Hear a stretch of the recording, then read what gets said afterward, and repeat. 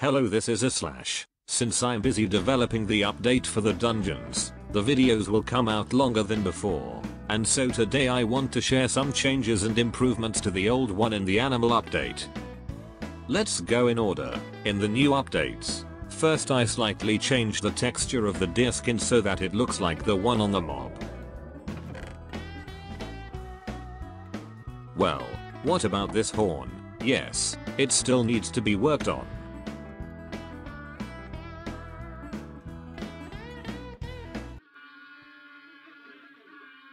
Okay, let's move on to the mob. You just look. This is a worm. The worm is a new mob that spawns underground in dungeons and caves. See, it crawling this is a worm. A worm a worm is a worm.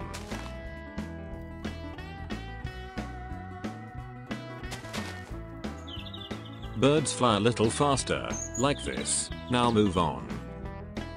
Crabs, of these wonderful creatures can be found on beaches and on islands. Of course they are not useful, but as a food it would be very good.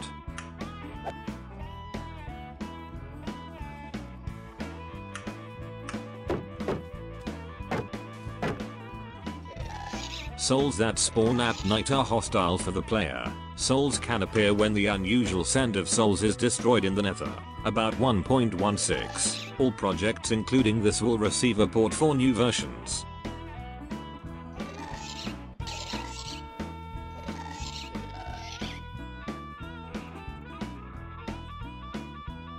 And the sweetest thing in this update is the improvement of the owl. Now in order to train the owl you need a special bag that is worn on it. After that we train the owl with the help of a rat. But here is such a strange way. Bag a noodle in the form of a backpack or a portable bag, as in 1.17, a small addition to an owl and to survival.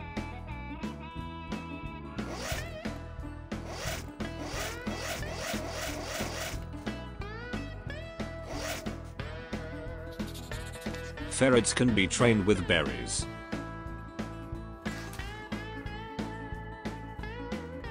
But no, it's just that I'm stupid and didn't notice that he was already accustomed.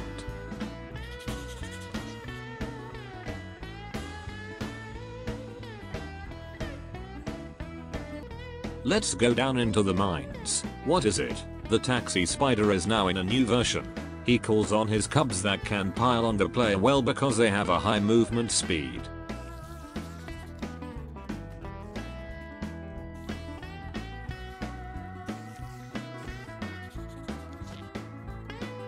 And on this I will see you as a Swami in the next video. I went to make the content further, and you subscribe it motivates me to make the update video a little faster.